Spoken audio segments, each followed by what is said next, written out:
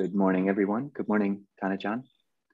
Um, so yeah, this this morning we have the great opportunity to have an interview, have a conversation with uh, Tanajan Jayasaro. And just as a brief word of introduction, I'll give a collapsed biography. So Ajahn Jayasaro was born on the Isle of Wight in England in 1958 after a Pan-Asian pilgrimage and much hitchhiking through Europe Ajahn Jayasaro joined Ajahn Sumedho's community in England as a monastic trainee, and in late 1978, he traveled to Thailand to ordain at Ajahn Chah's monastery, where he took full bhikkhu ordination in 1980. After years practicing in various monastic communities throughout Thailand, Ajahn Jayasaro took up the post of abbot of Wat Pah Nanachat, the largest monastery for international Theravada monks in the world, from 1997 to 2002. After his tenure as abbot, while he turned to a more solitary mode of living, he also became involved in Buddhist education, a passion and commitment he maintains to this day.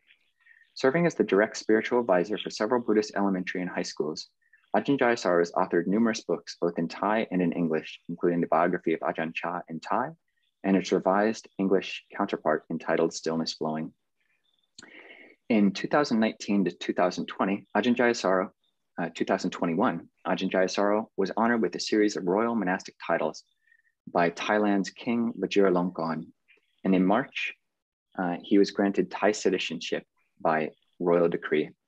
Ajahn Jayasaro currently lives alone in a hermitage 100 miles from Bangkok and has established a further four hermitages in the surrounding area where his students reside.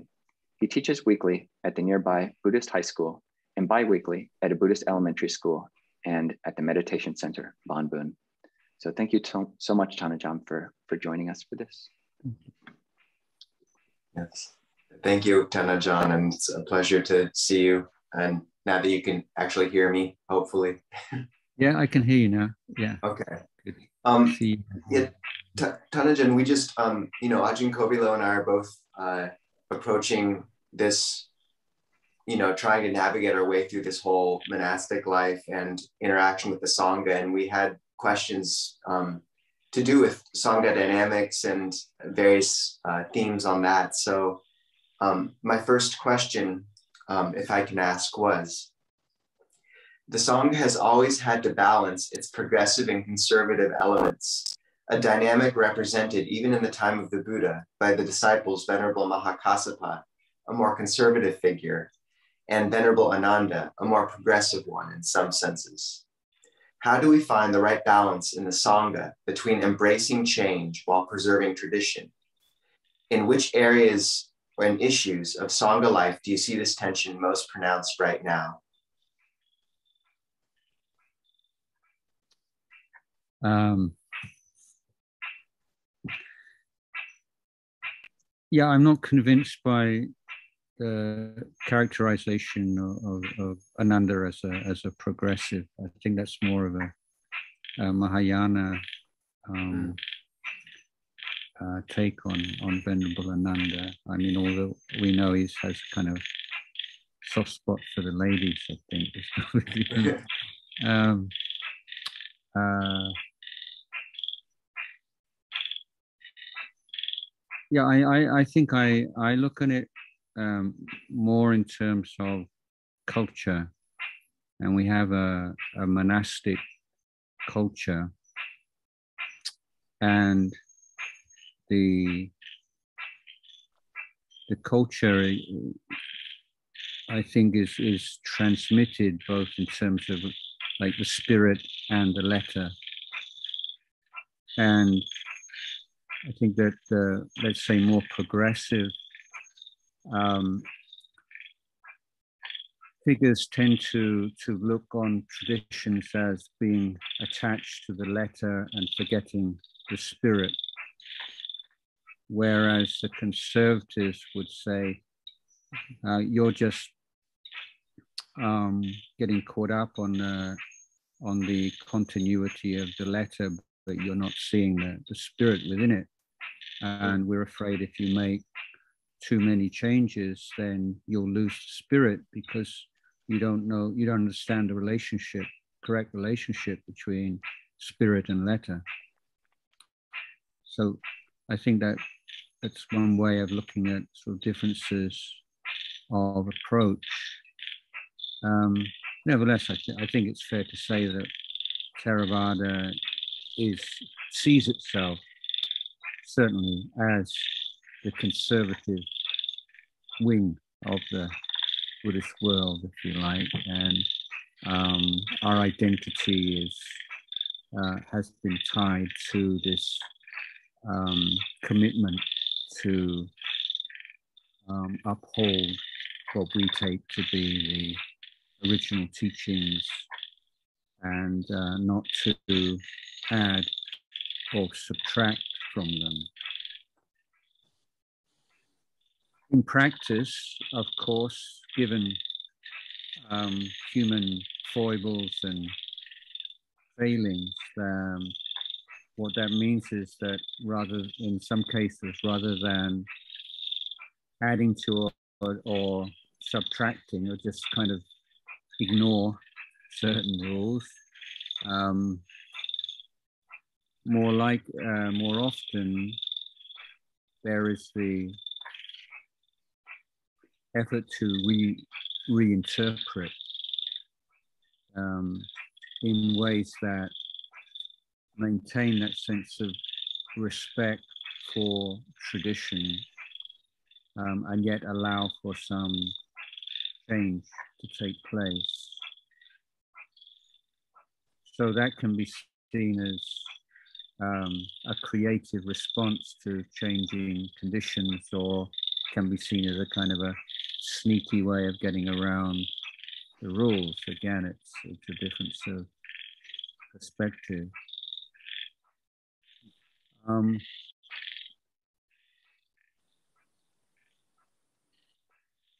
we, we do have, of course, the, the four great standards as our guideline in responding to change. But of course, that is um, open to interpretation, whether whether or not some new development um, is in fact in line with those things the Buddha allowed or those things that the Buddha forbid. Uh, it's not always such a, a clear cut um, issue. And um, I, I, my mind goes to the question of whether monks can drive cars. And in Thailand, it's uh, there are monks who drive cars in Thailand, but they're really looked down upon by most monks and lay people. But in and and I think our the logic that I follow regarding cars is that it, they are inappropriate because um, the, the amount of power that you have um, and the um, it seems to be inconsistent with the with the the way that samanas should um, travel, but more importantly, it seemed to me almost impossible to to drive a car without having to use money, whether it's for insurance or for gas or for whatever. So those those are the kinds of arguments that you're familiar with why why it would be inappropriate for for monks to drive cars. Whereas I, I've met monks in, in the States who do drive, um, and their rationale is that we should be easy to look after, and that where there is a very small pool of lay supporters of, of a temple, and that they may live 10 miles, 20 miles away from the monastery, if every time you had to go out, um, you have to um, ask somebody to come pick you up and take you and then pick, take you back and then go home again. And um, it's inconsistent with the, the kind of care and, and consideration that monks should have for their, their lay supporters. So their rationale would be that um, driving would be um, consistent with principles of monastic life, which the Buddha laid down and emphasized a great deal. So, so the, yeah, there, there's a certain amount of, of flexibility and, and, room for interpretation, isn't there? Um, the also we're, we're always you know in the middle of something you know it's like when you look back on, on, on history the, the most important thing about um, people in the past is they didn't know what was going on so you know let's say second world war we all know that it, it lasted well, in europe from 1939 to 1945 but absolutely nobody involved in the Second World War knew that. And that was very much an important part of how they understood it, how they reacted to it, what they thought about it, the fact that nobody knew what, what was going to come in the future. And, and it's always the same. Right now, we're in the middle of this, uh, all these different technological advances we don't have the sort of the big picture, the long, the long view of the um, the pros and the cons and the long-term benefits and long-term damage that um, these things can um, result in. So, so we're always in a, you know in a bit of a in a bit of a fog, um, and I think that being the case, that I I I, tend to um, gravitate towards the more Theravada, conservative style of um, safety first, and um, when you're not really sure how something is going to play out, then um, be very um, careful and um, yeah uh, not just to embrace things uh, too much. So I think maybe embracing change might be uh, a dukkata for um, appropriate contact with the changing world. Yeah. Tanajan, you bring up. Um, That's an inside joke. The non-monastics watching this, you won't get that. We we got it. so, um, I mean, it, it, brings up an interesting point, Tanajan, in that, um, you know, this tension between how much we adjust the form to the culture versus how much the culture, we trust that the form will change the culture. Say with the driving thing, like how much do we adjust to accommodate the surrounding lay people versus trust that if we remain true to certain interpretations of not driving, that they will step forward and and provide that service. Um, it feels like there's sort of a unique role with the Sangha in that it's um, there's such an archetypal uh, role occupied by the renunciant that it, it, there's an aspect of it which is both timeless in a sense and also um, uh, yeah some somewhat perhaps not uh, not permeable to the sort of winds of culture in quite the same way because it is an archetypal role within a culture and maybe has more power to change the culture as well. I know that Thailand and every culture where the monastic sangha has moved into is Buddhism's affected it very deeply. So I'm, I'm curious if you see a sort of a special reflection there for the sangha as opposed to any other role which might move through time and society.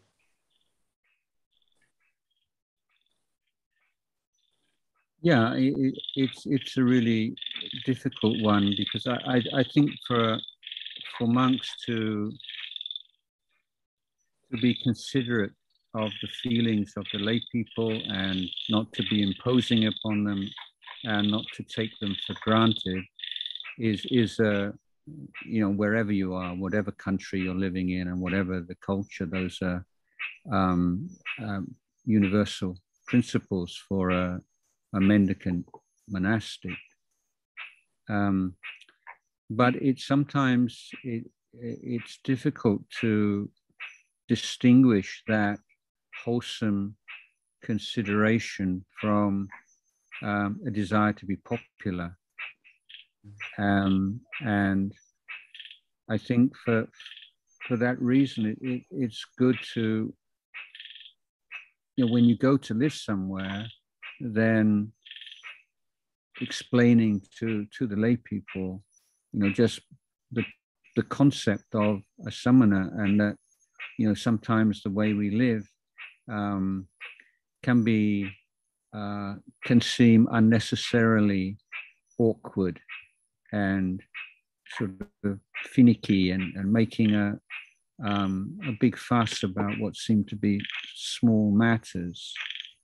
Um, but you know, this is and and I don't think that we can always justify every every single training rule we have. Some some of them do seem quite bizarre, certainly when they're taken out of context. But the the idea of well, this is my culture. You know, this is my monastic culture, um, and it's it's like one package. You know, um, and if you let people know beforehand, you know, this is the way you do it. These the principles. I, I think that's that, that lay people can uh, accept that a lot more more easily.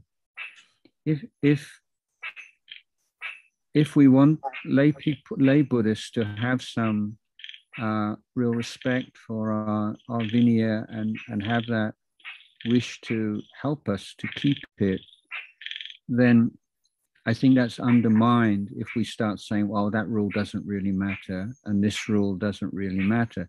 So we may be able to you know, create a, a kind of a, a, hierarchy and say, well, that's just a, a dukkata or that's just a this or just a that. But for lay people who don't have the sort of the, the big picture of the Vinaya, it's, well, yeah, some things they, they seem quite happy to abandon and some things they don't, you know, and, and they can't see the, um, the reason behind it. It's not, it's not so clear cut to, a, to someone who's not had our education or training. So um, I, I, think Ajahn Chah's very simple guideline, you know, is that just try to keep all the rules, and then if something really doesn't work, then think about changing it. But um, not to not to change anything uh, too easily because um, the message it sends to people is it's not really that important to you, you know. And, and Tanajan, um, thank you. And sort of on that note, um, how do we how do we remain, you know, moving into this new environment, especially as young younger monks? How do we remain humble? Like, what, what have you found was helpful for was helpful for you in that respect? Meditation. Um, I don't think that uh, certainly uh, the sort of the more subtle kinds of conceit um, can resist um, meditation, but um, I think for anyone who's putting time and effort into um, formal practice um, should be able to see through that kind of pride and and uh, arrogance and lack of humility um, for for what it is. But I think that that know, point I often make here, talking about gratitude, is that you know often people teach gratitude as like something you should have. A good person should be grateful you should not be ungrateful, you should be grateful. And it's like um, an act of will um, involved. Um, but for me, the more you investigate and penetrate causality, all the causes and conditions that have led you to be where you are now, to have the uh, the gifts, the abilities, the um, even the, the requisites, um, beginning with the requisites, of course, but going on to the, uh, the qualities, wholesome qualities within your heart. Um, when you when you see all the people who've been involved, from your parents and your school teachers and your and your spiritual teachers and your colleagues and friends and students, then I, I can't see how uh, you can fail to be humbled by that. I think I think that you know humility is sometimes you know that, that sort of sometimes uh, you don't want to characterize it as Christian humility, but but that idea of you know you uh, as a penance washing people's feet and and doing all these kind of special practices, or they they might help you to be humble, but they're not expressions of humility because often there's this there's this still kind of look at me, I'm so humble um, kind of feeling there, especially in the more kind of spectacular expressions of humility.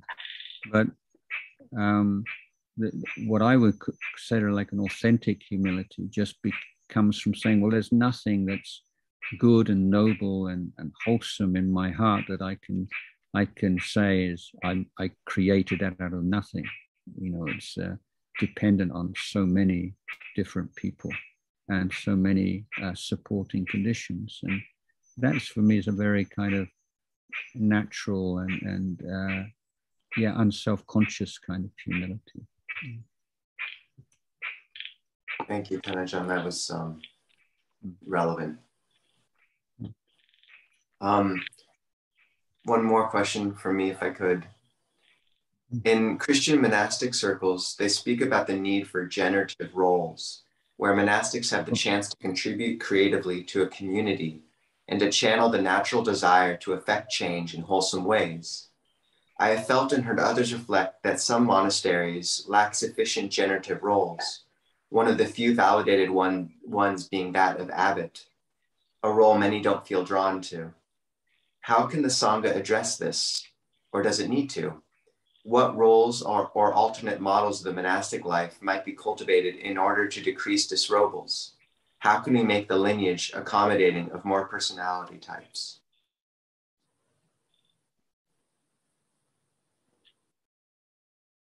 Well, we are um, certainly compared when I first became a monk, the forest tradition um, is a much broader church, let's say, than it was, uh, and far more accommodating.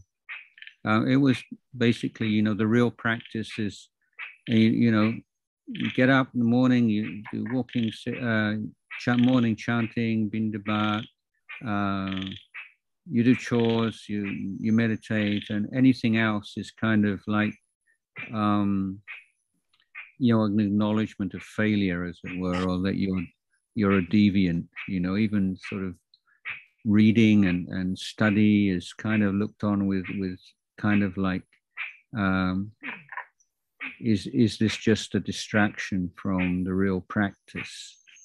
Um, so there are a number number of sort of cultural reasons for that, I think, and um, it, it's not like it's it's uh, in the kind of the forest monastic DNA, as it were. But that's at least the, the tradition as it was um, in that particular phase of like 40 years ago.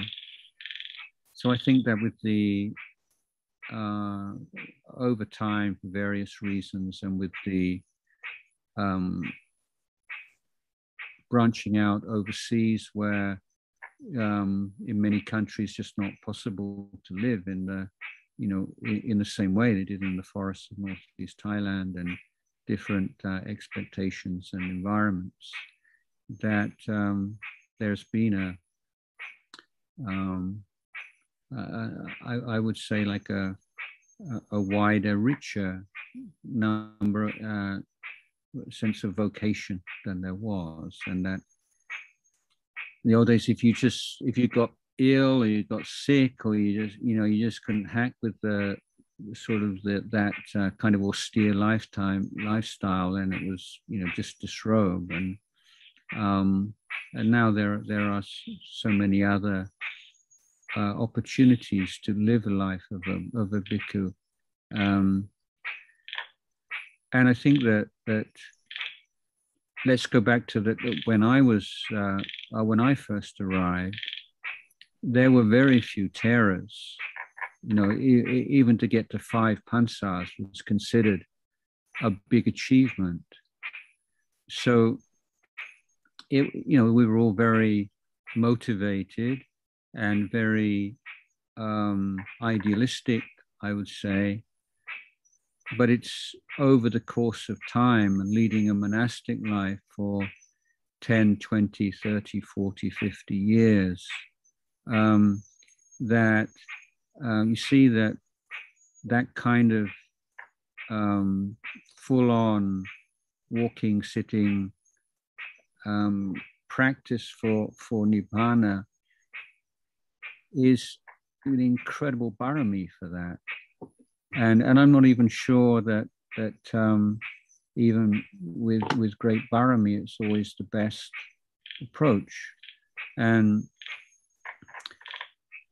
so I, I think that uh, opportunities for for other activities which are not in conflict with uh, Dhamma Vinaya, um, but which give some sense of short-term, more mundane um, sense of uh, competence, of accomplishment, of of value um, are, are really good, good things. And before it's like we put all of our eggs in one basket, in the meditation basket.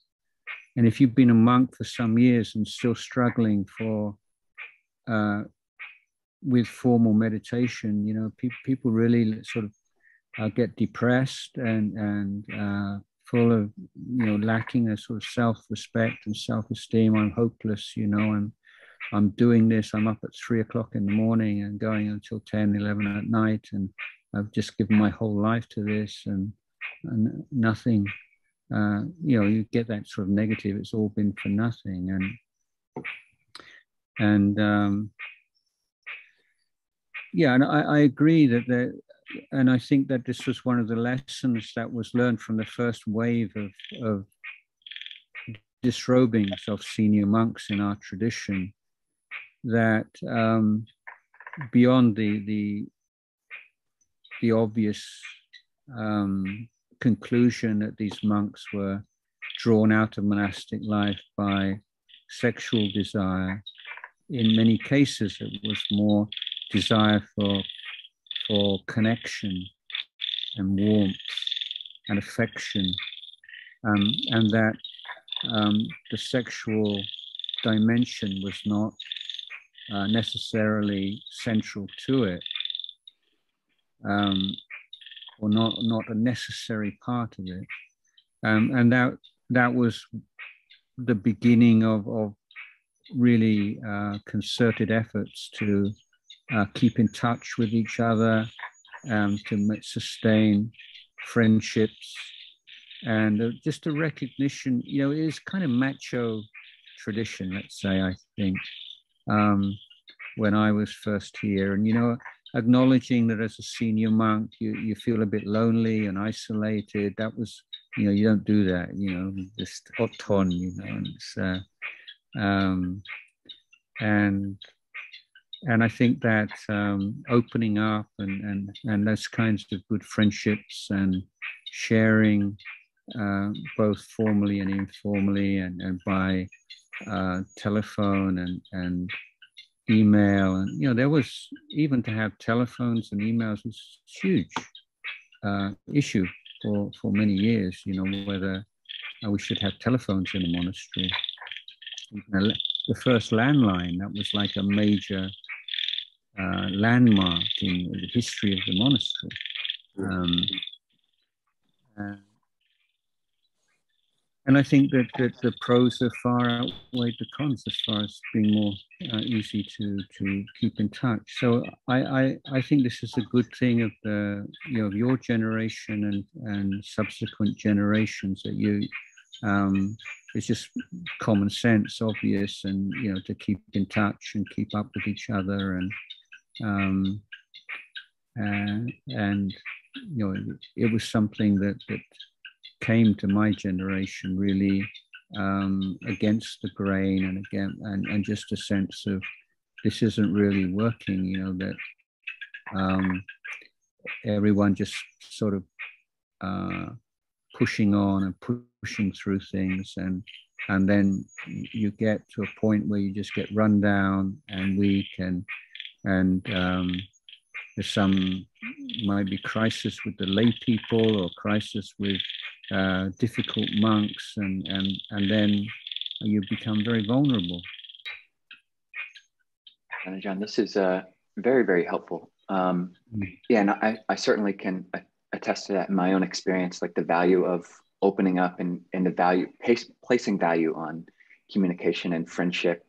And as what you um, what you alluded to earlier is just finding some other ways of nourishing, which are in line with the, the Dhamma, specifically study and meeting, you know, study monks, Bhikkhu Bodhi, who's just the most beautiful mm. human being, who's just, you know, a, a, mm. bright light, you know, who's been in the robes for almost 50 years. And um, I certainly see the value of that and really appreciate that you acknowledge that and, and, and talk about that aspect of things on the opposite end of the spectrum, you know, there are these discourses on monks, there are these roots of trees, there are these empty dwellings, meditate lest you regret it later. And I'm curious if you might be able to speak to, to that side of things, like for people who might be more inclined, like I, I really love to study. Um, some people love to study more than meditate. Like, yeah. So what, how do you encourage people? What's, what's the scope? What is well, the Buddha?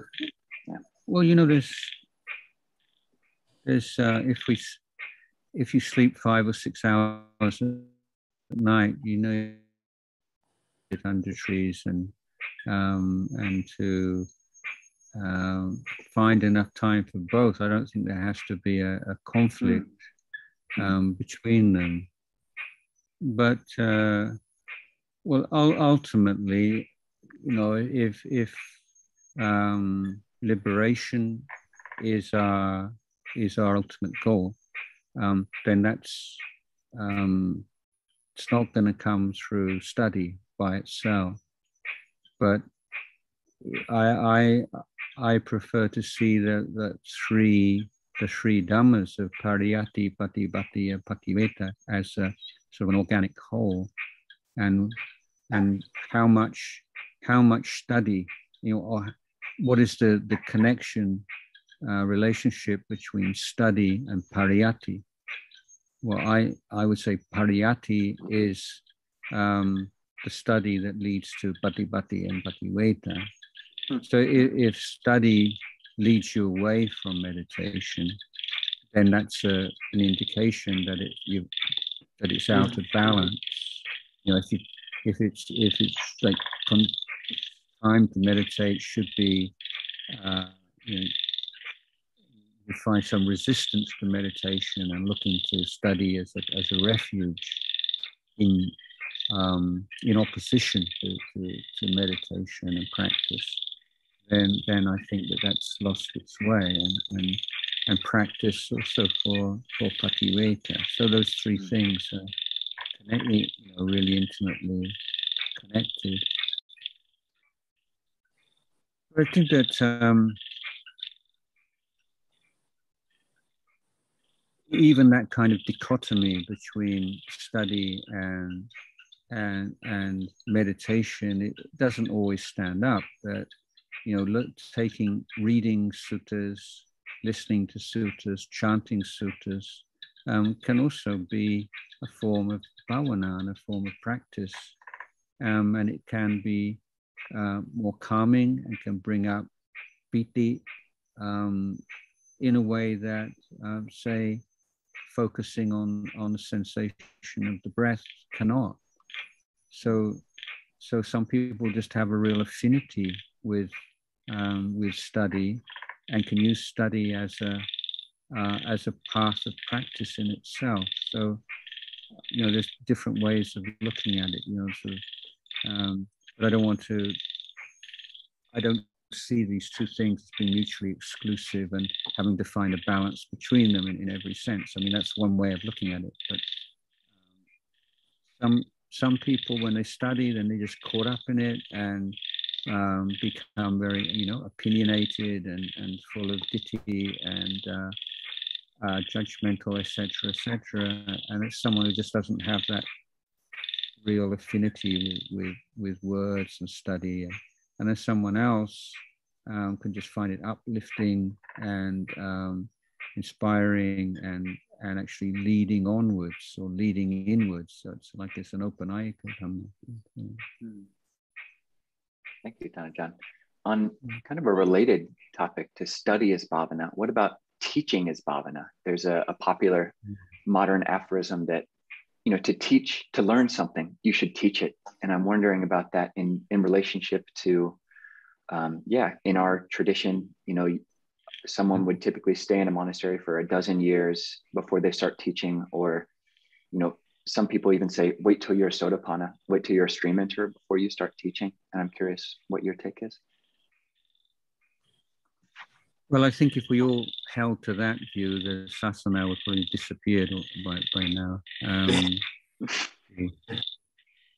I, I, think that, that um, first of all, going to, to evidence in the suttas, you know, the, the, the instructions given by the Buddha um, to Dhamma teachers, you know, to teach um, step by step and to teach without um, criticizing and running down other people, to teach without desire for any kind of gain.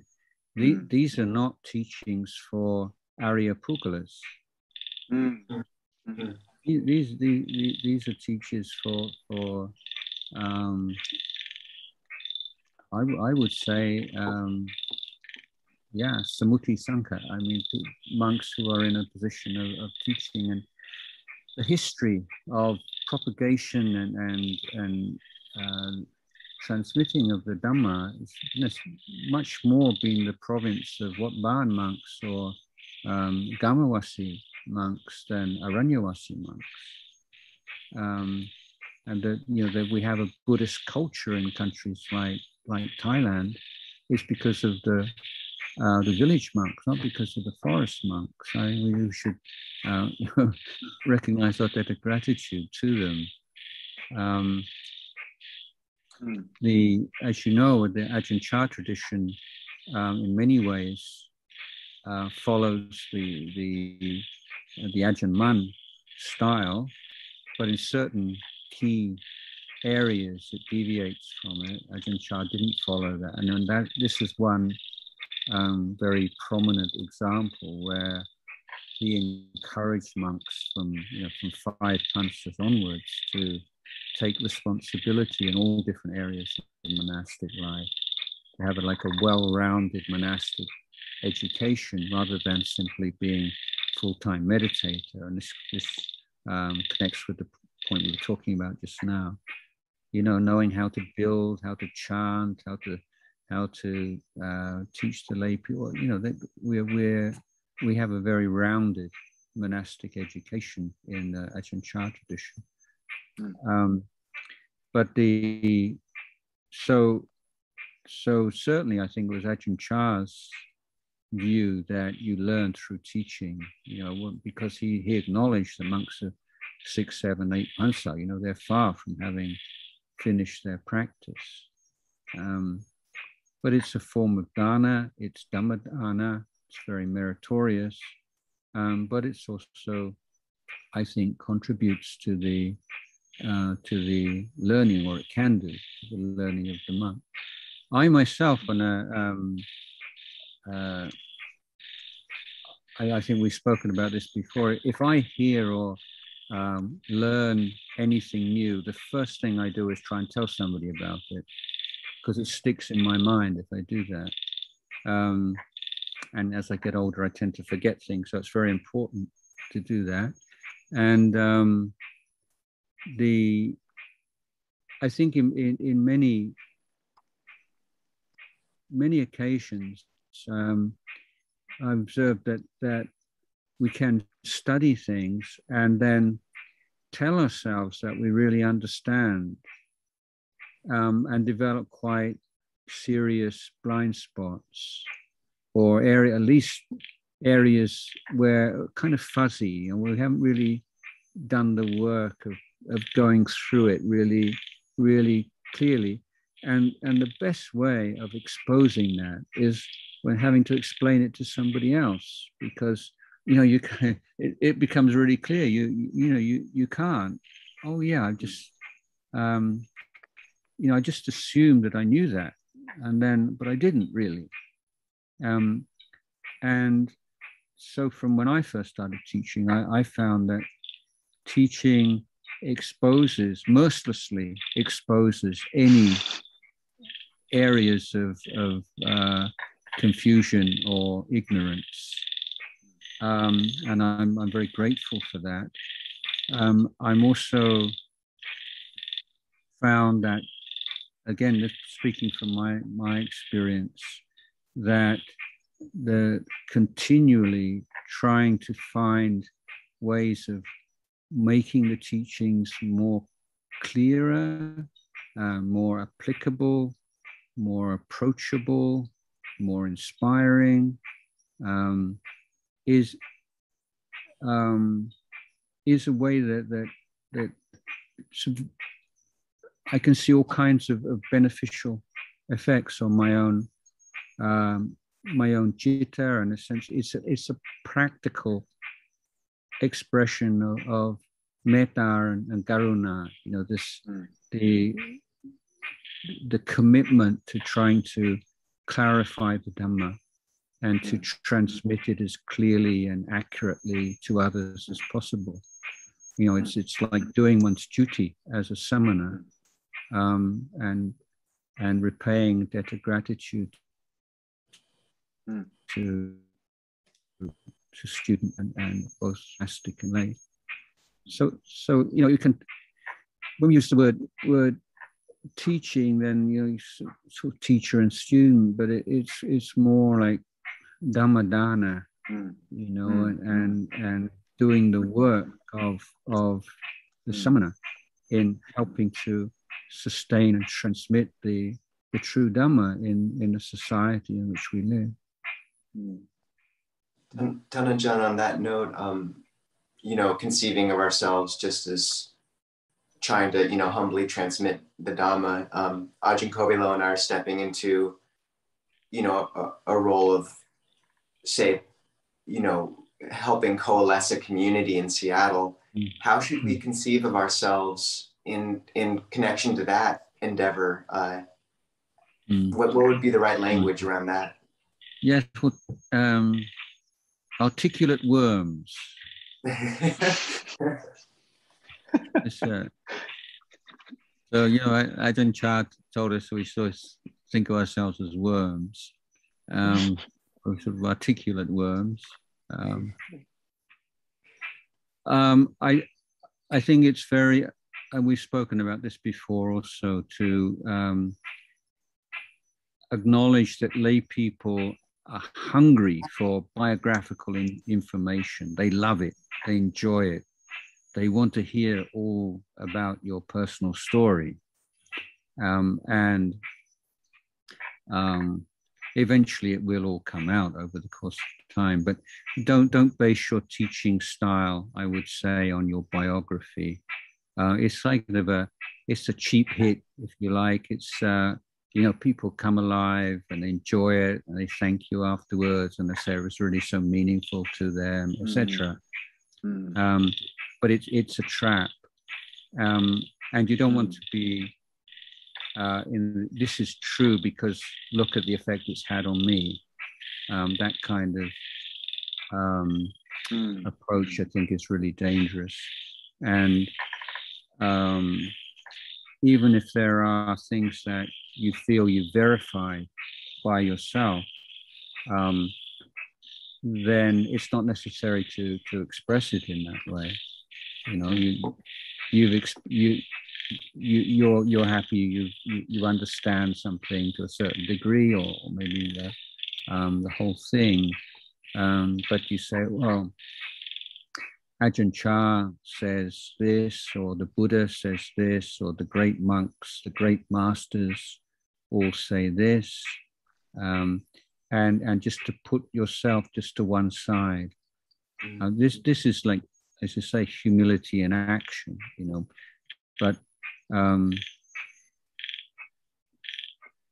you only need you only need um, a moment of, of um, lose your mindfulness and get caught in the moment and then make a statement. And afterwards you think oh did i claim um, you know uh, uh, anuttara manusatam um, and and then you're in hell you know it's just absolute awful kind of experience where you had a doubt about whether you were claiming something uh, or whether lay people understood you to have made a claim. And, and it's just such an awful, nasty, terrible um, hole to fall into that. And so easily, I mean, you look at the other three parajikas, you know, those are really gross, coarse kind of actions. But the fourth parajika is not. Um, and it's quite conceivable that uh, for a very well intentioned practiced monk to fall into that, just a moment of, of conceit or wanting to create or sustain an image of yourself with lay people. And there you go, you know, you're in.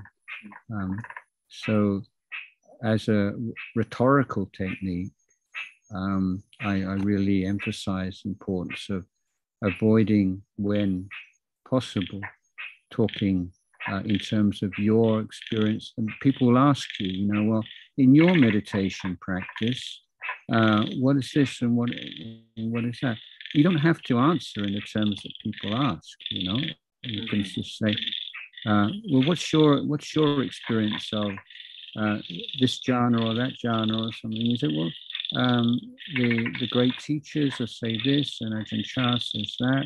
Or if people are really, really pushy, you say, I'm sorry, I, um, the, my discipline doesn't allow me to, to speak about uh, my own uh, personal uh, experiences and achievements. And that's, that's the end of it. John, I've got two more questions. Um, one of them, there's a, a, great short little aphorism in Thai, which yourself and P.A. Payutto use about when one first comes to practice, one experiences a lot of suffering and very little happiness.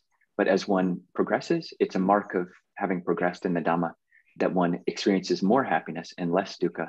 Could you unpack that? Because it might seem counterintuitive to people.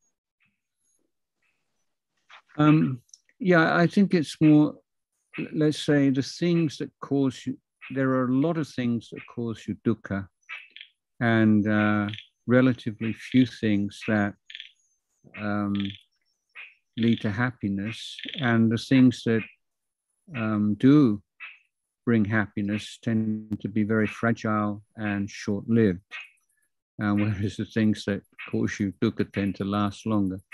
So I think as you practice, the things that used to uh, cause you a lot of dukkha don't cause you so much dukkha anymore, and they don't last so long. Um, you know, I, I, think most most most practitioners will, will have had that experience where, let let's say, someone just abuses you or um, humiliates you or, or, tries to put you down or, or, or something, and you think, wow, if that had been a year or two ago, I would have, uh, I would have suffered so much from that. And mm. and now it's it's like, yeah, I, I mean, I can feel it, but it's just nowhere near what it used to be, and that's a real sign of progress, isn't it? Mm-hmm. And uh, sometimes it's a bit. Uh, my my analogy was like in I have a lot of cartoon analogies. So you know, in a in a in a cartoon where maybe someone shoots a fires a bullet or shoots an arrow and it goes right through your body and you say, oh, you know, it just went in the front and out the back, you know, well, what's happening? You know, it's a bit like that. You think, Uh, well, mm. I hardly hurt at all. Um, mm. Then, then um, you know, given given that the more fulfilling and and um, deeper kinds of happiness and well-being come from kusala dhammas, then you know, just as the amount of dukkha uh, decreases as akusala dhammas decrease, then similarly the amount of sukha uh, increases as kusala dhammas increase. So you have more mindfulness, your mind's not so distracted, and then just sweeping your room or um, basic kind of um, chores can be a source of real happiness because you're you're mindful and you're right there and and actually work or you, you don't have to use your brain and where you can just be quite completely present. Um, I just find just more and more enjoyable um, the more the more you practice the, the, the stronger your sense of gratitude um, mm-hmm. the more the joy that comes from growing faith in the Buddha Dhamma Sangha as you verify more of the teachings, and it gives more rise to more confidence and and and strength of faith, which makes you feel better. Um, and uh, the, the extent of informal practice that you're able to um, free yourself of the five hindrances and experience that niramisa sukha, then yeah, it's just uh, all good. And um, my my, you'll remember my. Um, I don't think I can claim it's mine. I just probably. I I have this humble experience where things I think that um, I thought out myself, and then suddenly I realized somebody else has already said them. It's usually Ajahn Chah or Luang Por Sumedho. But um, anyway, uh, this one is that you know only the happy mind can understand dukkha. Mm. So you know the so they say, oh, it's all about dukkha. Yeah, but you can't understand what dukkha means with an unhappy mind because you have an unhappy mind. It's this I am suffering. The whole point is it's it's not it's the I am which is the suffering, um, and you can only see that when your mind is is happy and stable. Uh, John, thank you again.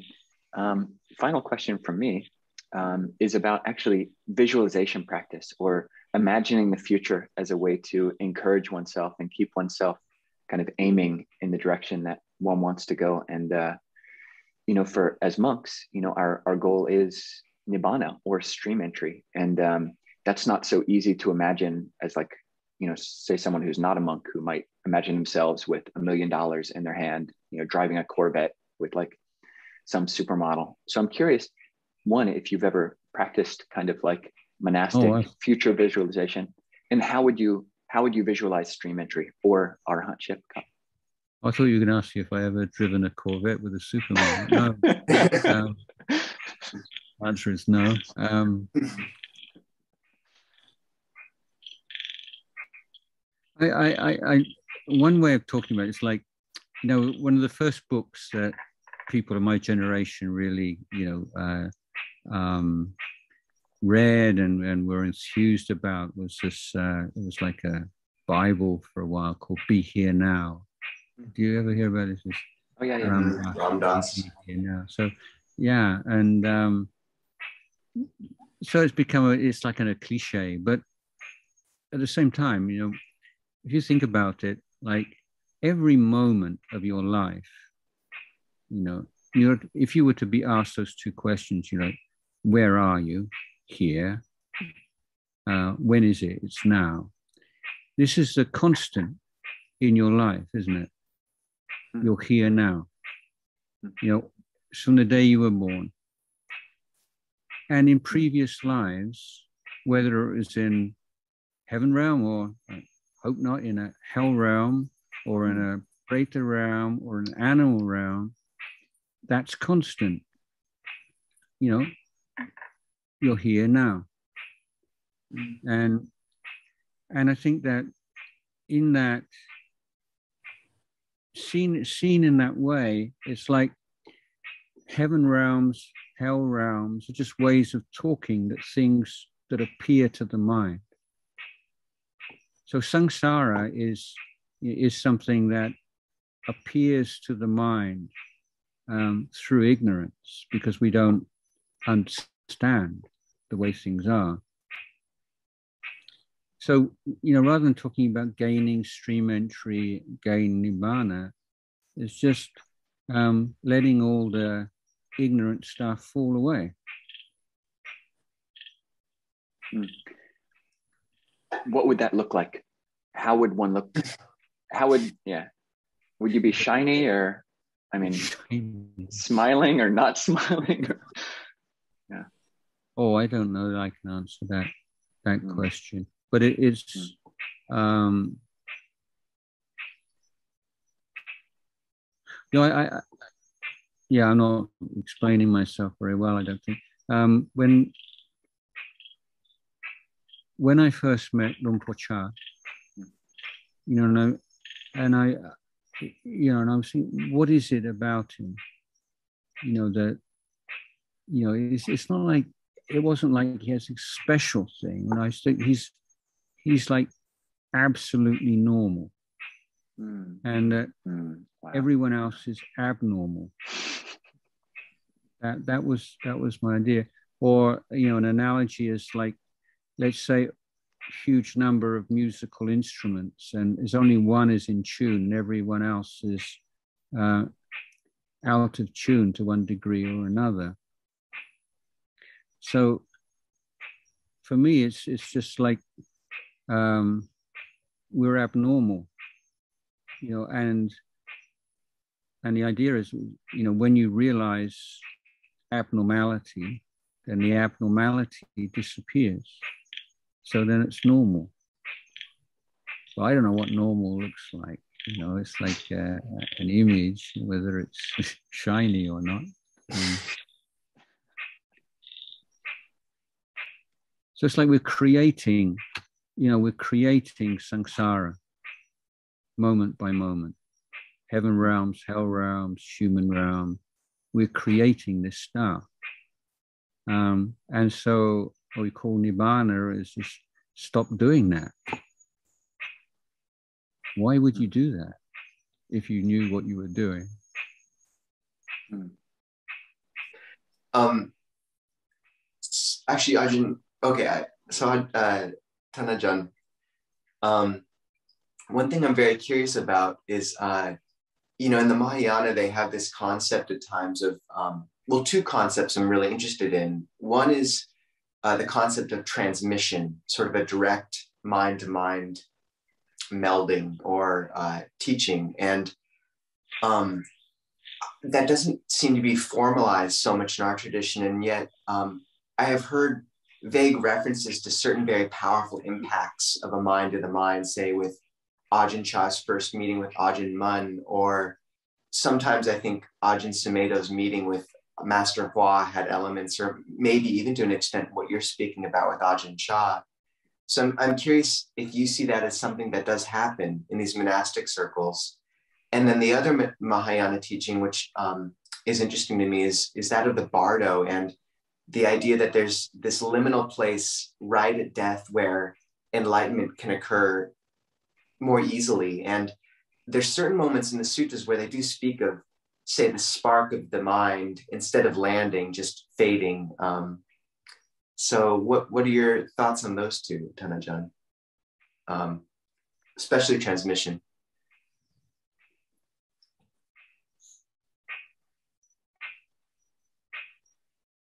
I, am not sure that that that we have that same um, idea of, of, of, transmission as you know the um, Buddha holding up the flower and Mahakassapa understanding and no one else understands that that kind of thing. But um,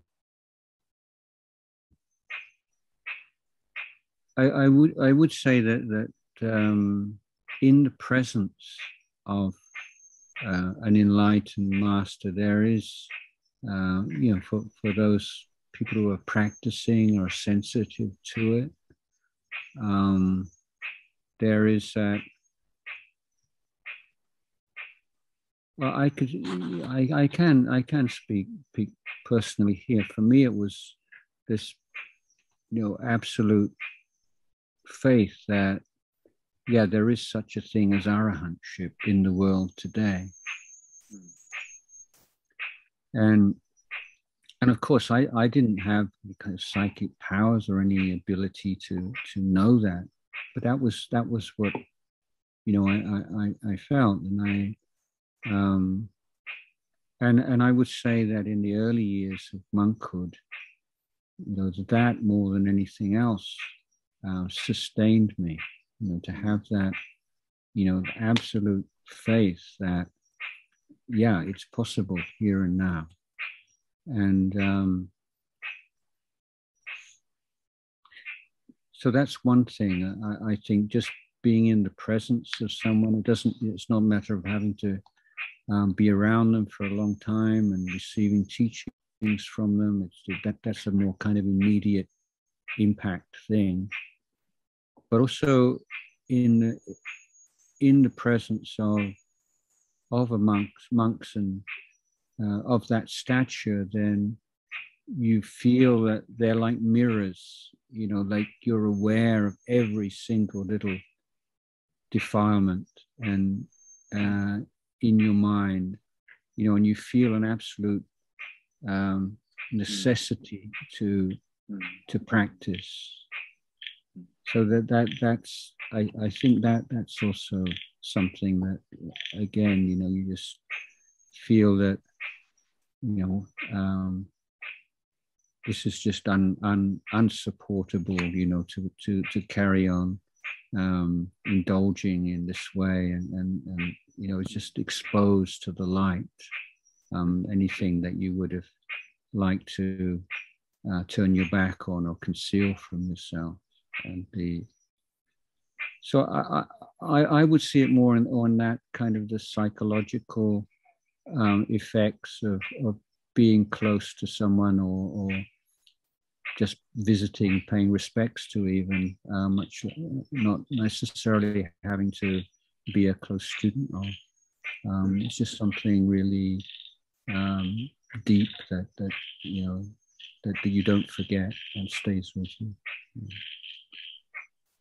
Tanajan, um, I was having a conversation with a very learned layman recently who knows the Pali Canon quite well. And uh, the topic of like modern technology came up, and he made a very emphatic statement like, if the Buddha was around today, of course he would not have allowed monks to use cell phones.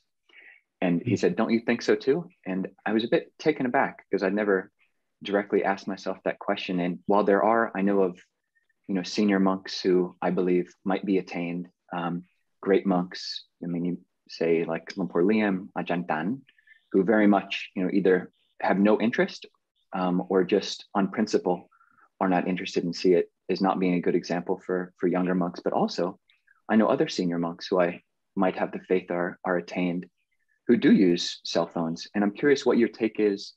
Um, you know, do you think the Buddha would have allowed, you know, monks to use the following technologies? One, like cell phones, and two, say, um, social media. What what do you think um, is a wise wise take on that allowance or prohibition or some kind of conditional permission?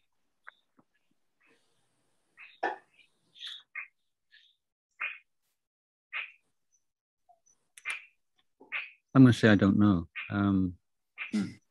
I don't think it's so clear cut. I mean, if if you imagine the uh, that the environment in which Buddhist monks live today um, was more or less the same as it was 2,500 years ago. Yeah, but it, it's not. And, um, you know, there are, um, you know, the, the culture, the environment, the um, natural world everything is, is changed, obviously, but the complexity and the um, I, I I don't I don't think that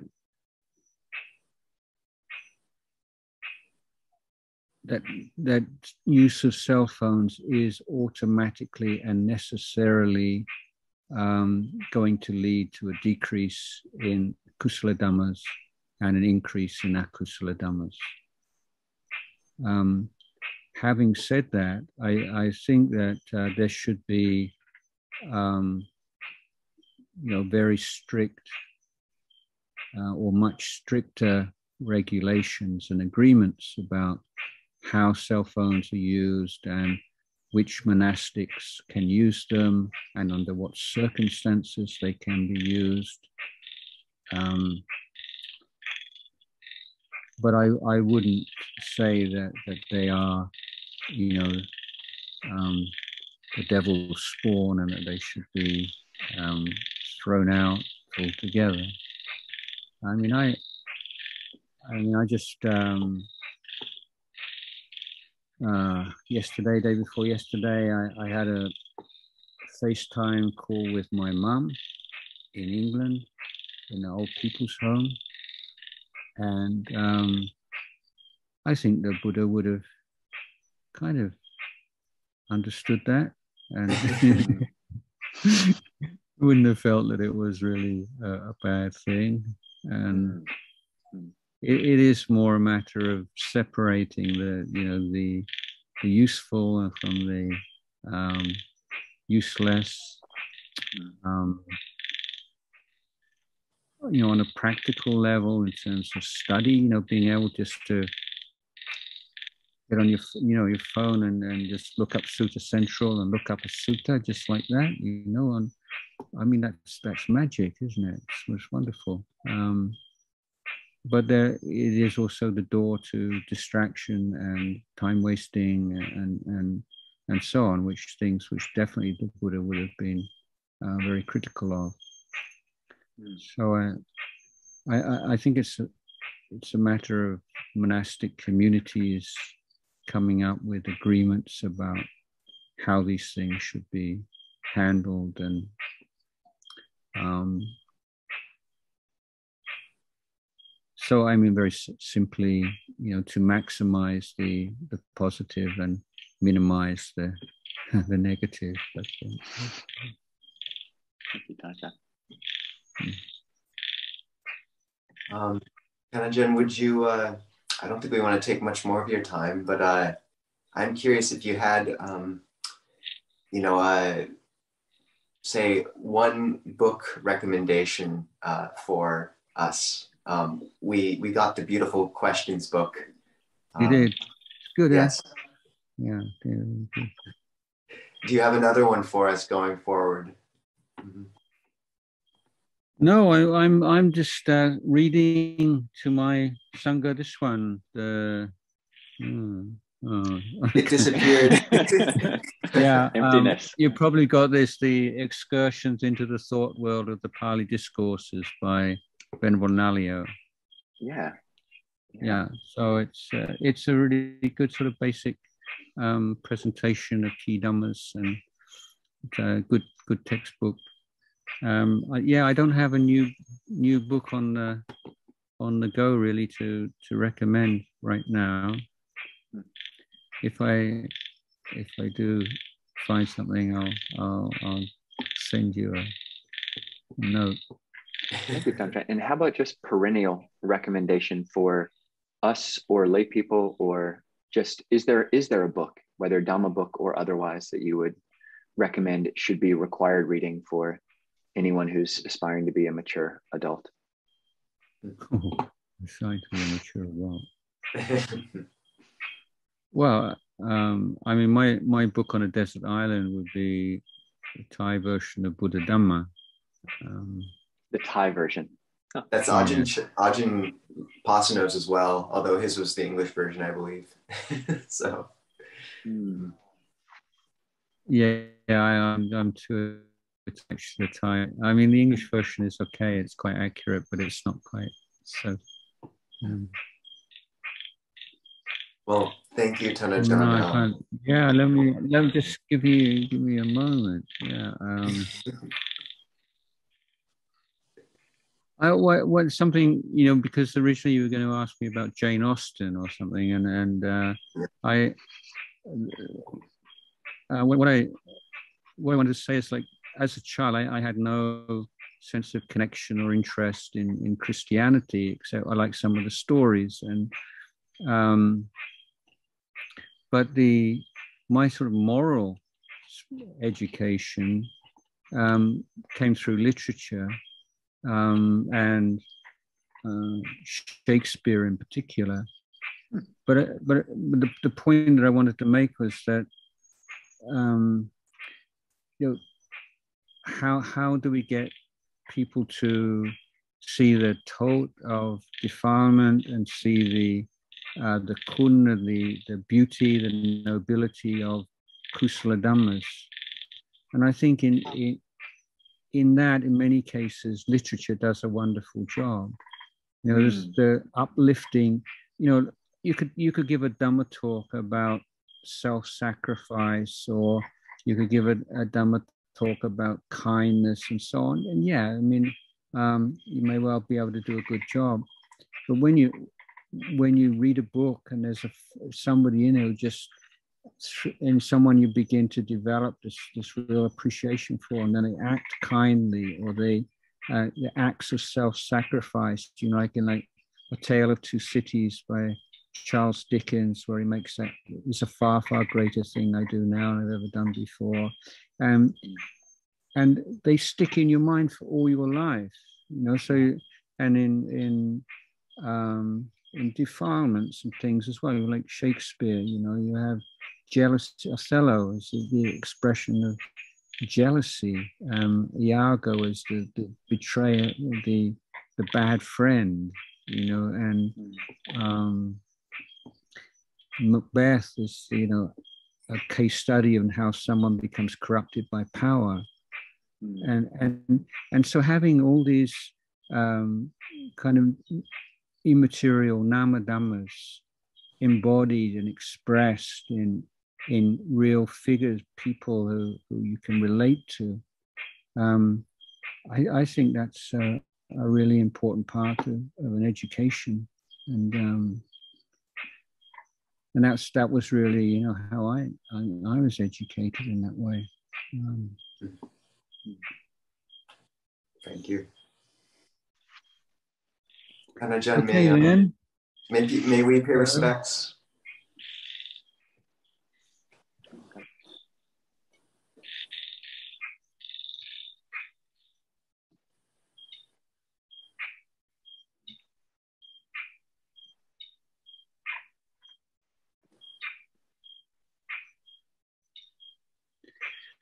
Yes, lovely speaking with you. Take care, both of you. Be in touch again. Thank you so much. Yeah, yeah thank you so much.